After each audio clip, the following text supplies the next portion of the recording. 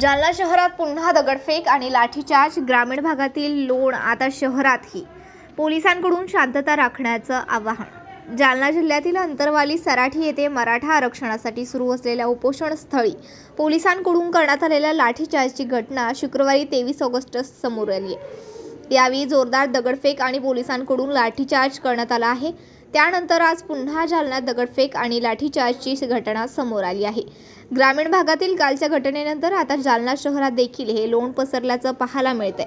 काही तासांपूर्वी आंदोलनकर्ते आणि पोलिसात झालेल्या झटापटीनंतर दगडफेक करण्यात आली आहे तर जमावाला पांगवण्यासाठी पोलिसांनी लाठीचार्ज केलाय. जालना जिल्ह्याच्या ग्रामीण भागातील तणावाच्या घटनेनंतर आजही शहरातील काही भागात तणाव कायम आहे. दरम्यान यावेळी पोलिसांनी आंदोलकांमध्ये धूमचष्की धुमचषकी झाल्याचं पाहायला मिळालं.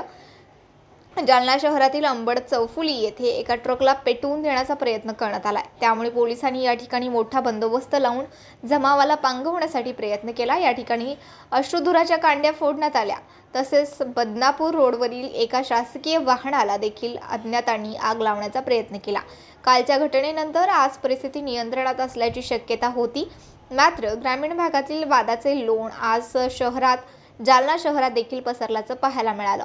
शहरातील अंबड चौकात पो आंदोलकांनी एक ट्रक पेटवून दिल्यावर परिस्थिती हाताबाहेर जाण्याची शक्यता असल्याने पोलिसांनी लाठीमार करत जमावाला पांगवण्यासाठी प्रयत्न केला.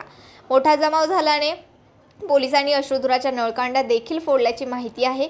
तर घटनास्थळी आता दंगा काबू पथक तैनात करण्यात आला आहे. Bureau report S B N Marathi.